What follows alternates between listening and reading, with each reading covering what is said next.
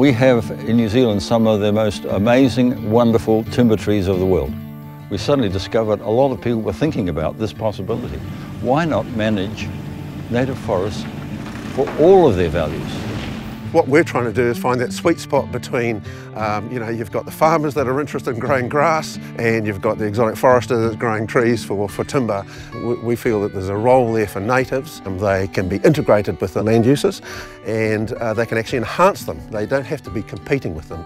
A light bulb went on and I thought, you know, you're spending all this money and effort turning what was productive land and you're giving it back to nature and making something sustainable for the future. You know, you're not mining the natural capital, but actually regenerating it.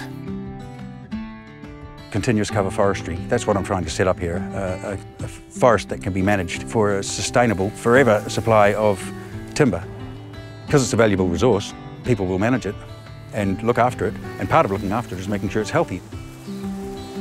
What I like about Cassie's farm, it, it has the best of both worlds, you know, it has all the native bush up there, but it also is a viable farm. So when we restore a forest, we're not just planting trees and welcoming birds back. We are restoring the connection to, to enable everything that belongs there to thrive.